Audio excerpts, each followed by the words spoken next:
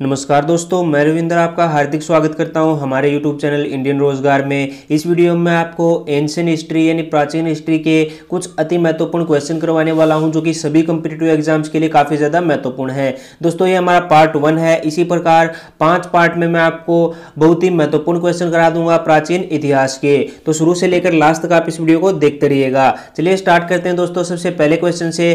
पहला क्वेश्चन हमारे पास आता है दोस्तों एलोरा स्थित कैलाशनाथ मंदिर और और मामलपुरम स्थित सौर मंदिर के बीच निम्नलिखित में से कौन सी एक समानता है? तो यहाँ पर चार ऑप्शन आपके पास गिवन है दोस्तों, आपको करेक्ट आंसर बताना है। मैं डायरेक्ट आपको करेक्ट आंसर बताऊँगा तो यहाँ पर जो इन दोनों में समानता है, वो है दोस्तों कि दोनों ही जो है ठोस चट्टानों में उत्कीर्ण किए गए हैं। दोनों ही ठोस चट्टानों में उत्कीर्ण किए गए हैं।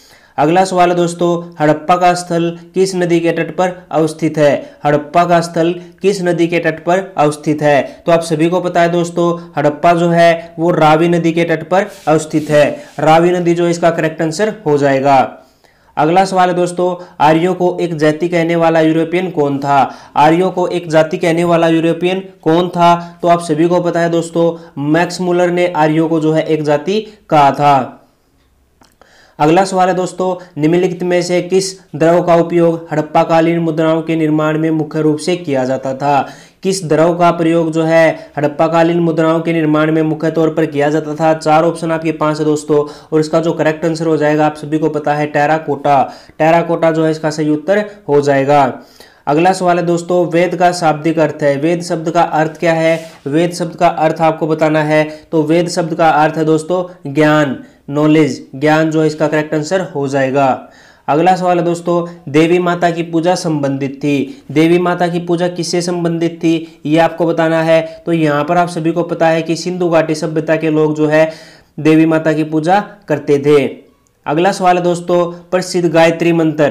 प्रसिद्ध गायत्री मंत्र कहाँ से लिया गया है? तो आप सभी को पता है दोस्तों कि जो गायत्री मंत्र है, वो सबसे पुराने वेद, ऋग्वेद से लिया गया है। ऑप्शन सी जो है इसका करेक्ट आंसर हो जाएगा।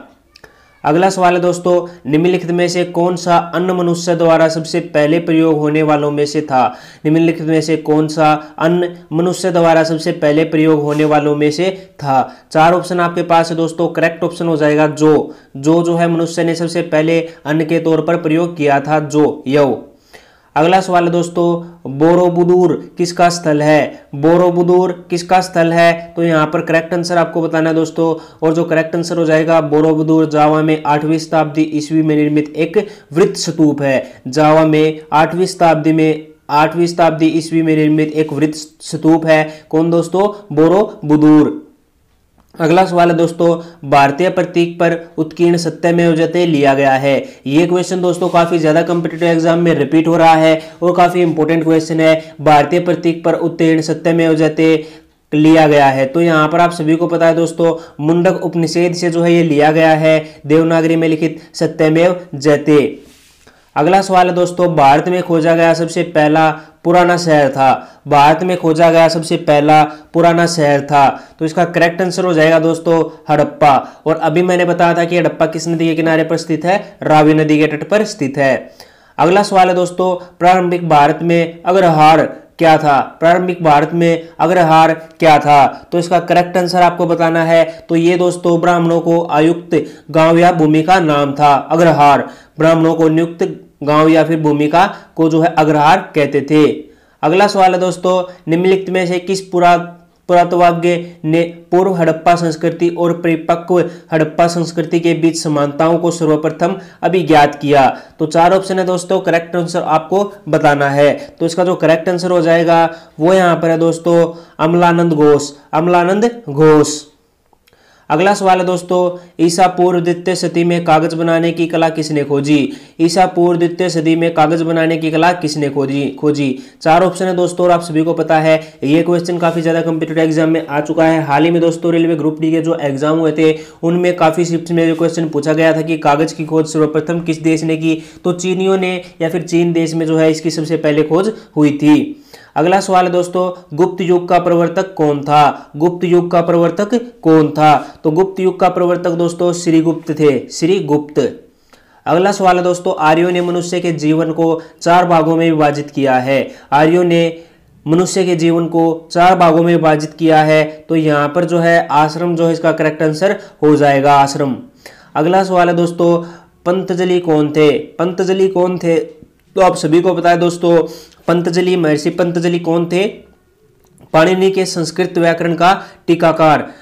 पाणिनि के संस्कृत व्याकरण का टीकाकार पंतजलि। अगला सवाल है दोस्तों, निम्नलिखित में से कौन मौर्य वंश का अंग नहीं था? निम्नलिखित में से कौन मौर्य वंश का अंग नहीं था? तो यहाँ पर आप सभी को पता है दोस्तों, इनमें से जो करेक्ट आंसर हो जाएगा, ये तीनों ही जो है मौर्य वंश के अंग थे और इनमें से कोई नहीं जो है इसका सही उत्तर हो जाएगा। तो ऑप्शन नंबर डी जो है इसका सही उत्तर हो जाएगा, क्योंकि ऊपर वाले तीनों ही जो है मौर्य वंश से संबंधित थे। अगला सवाल है दोस्तों, सिंधु घाटी सभ्यता के शहरों की गलियाँ थी। सिंधु घाटी सभ्यता के शहरों की गलियाँ कैसी थी? ये क्वेश्चन दोस्तों आपका इंडियन नेवी में पूछा जा चुका है कि सिंधु घाटी सभ्यता के शहरों की गलियाँ कैसी थी। तो इसका करेक्ट आंसर हो जाएगा दोस्तों, चौड़ी और सीधी। चौड़ी और सीधी जो है सिंधु घाटी सभ्यता के जो है गलियाँ थी शहरों की। अगला सवाल है दोस्तों, हड़प्पा के निवासी थे।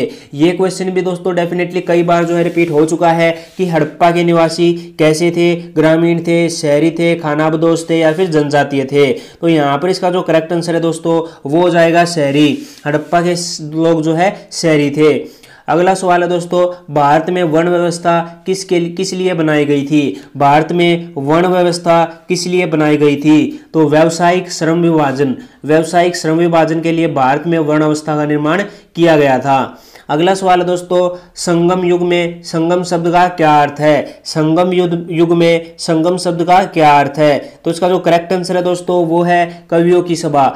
संगम युग में दोस्तों, संगम शब्द से अभिप्राय है कवियों की सभा से।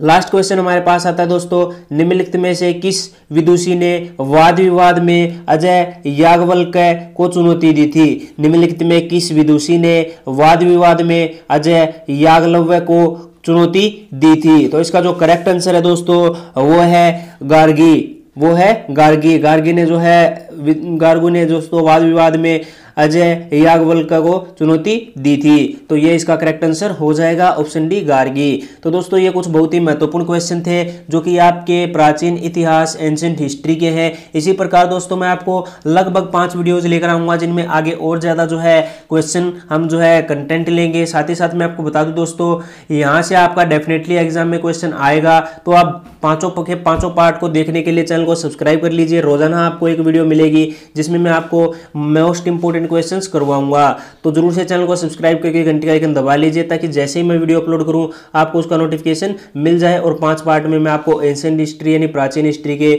महत्वपूर्ण सवाल करवा दूँगा। मिलते हैं दोस्तों आपको अगली वीडियो में। बने रहिए हमारे साथ इंडियन रोज़गार पर, और इस वीडियो को लाइक करना बिल्कुल ना भूलिएगा। जय हिंद, जय भारत।